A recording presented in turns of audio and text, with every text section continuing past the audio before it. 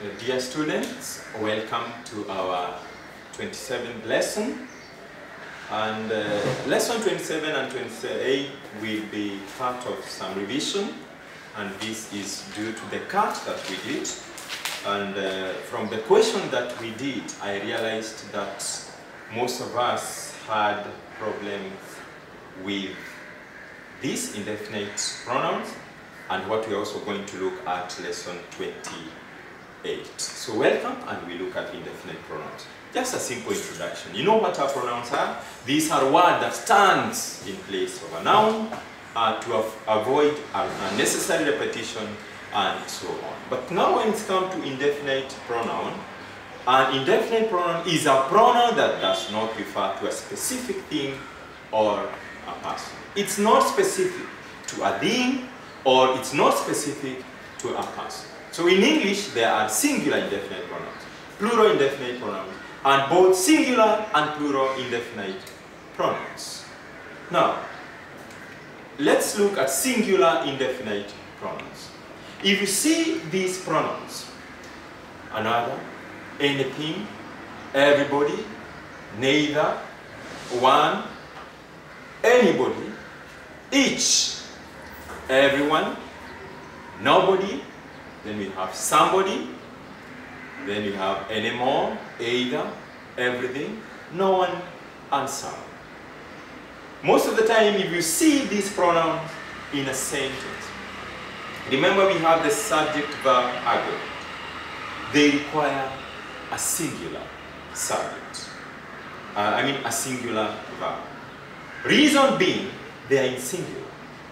Everyone was present. Everyone was present.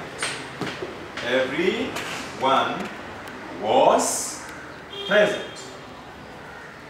Now, when we say everyone was present, okay, we are referring, yeah, it might be a class of 40, and all of them are present.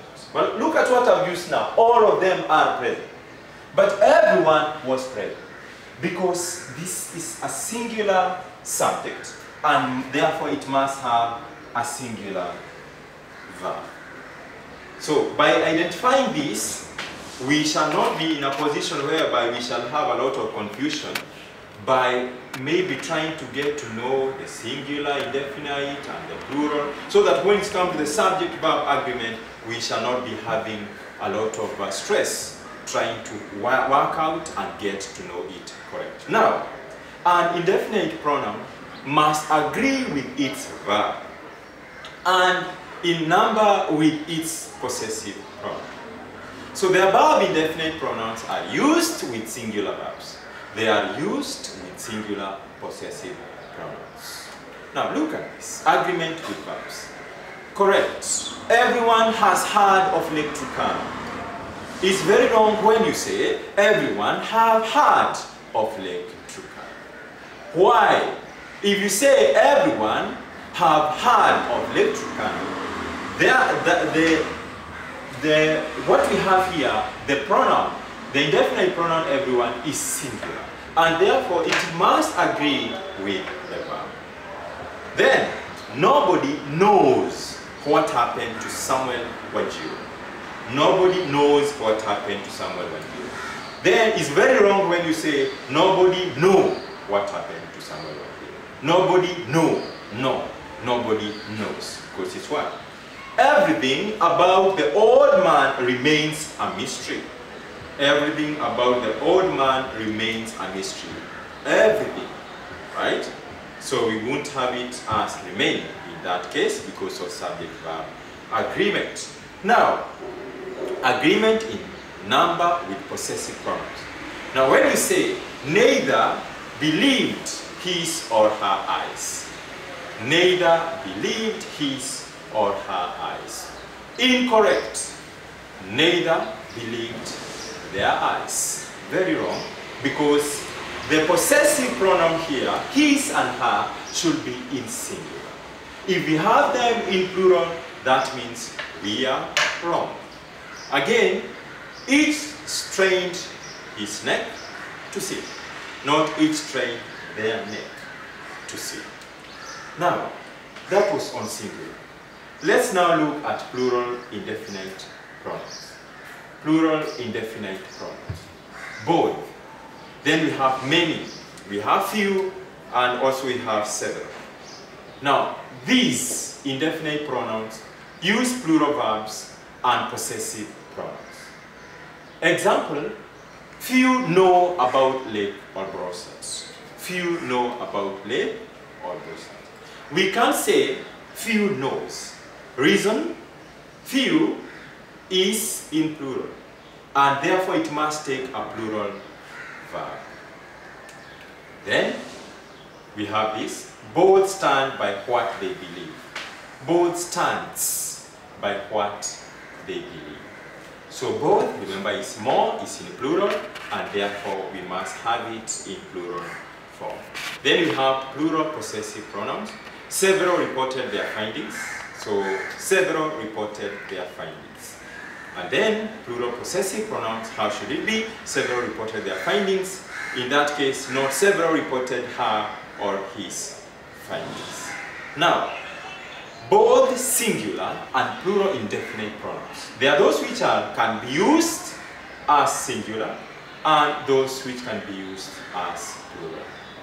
Example, uh, we have all of my story is true. All of my story is true. Yes, that is in singular.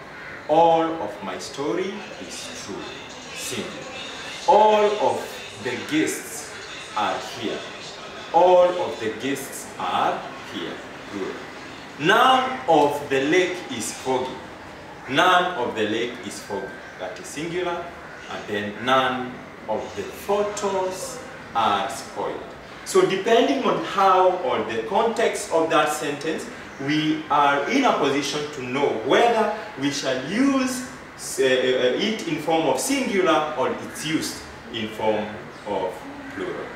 So that is it when it's come to subject-verb agreement. And remember, this is very examinable because most of us get confused when it comes to uh, plural and singular and then the subject and the verb agreement rules. Now, look at this.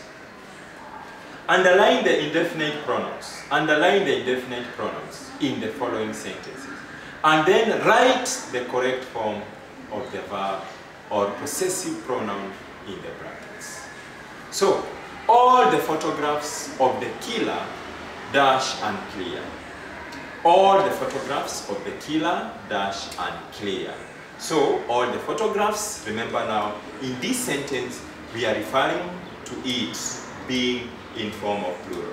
Now, you are supposed to underline the indefinite pronoun, and then after that, you get the correct uh, verb in the bracket. Now, all, this is our indefinite pronoun, and then all the photographs of the killer are unclear. So there are many of them. Then, dash enable. Enable. This is our indefinite uh, pronoun. And then, it is in singular, so we have to have this in singular too. Has anybody seen my camera? Has anybody seen my camera?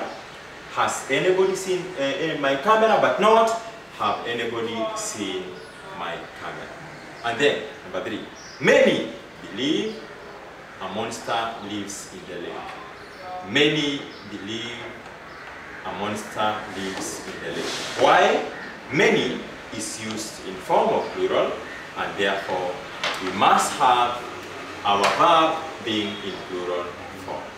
So each of the photographs, people want more.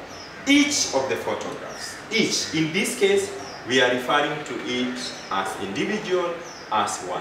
Each of the photographs make people want more. Therefore, each of the photographs makes people want more. Each is our indefinite pronoun.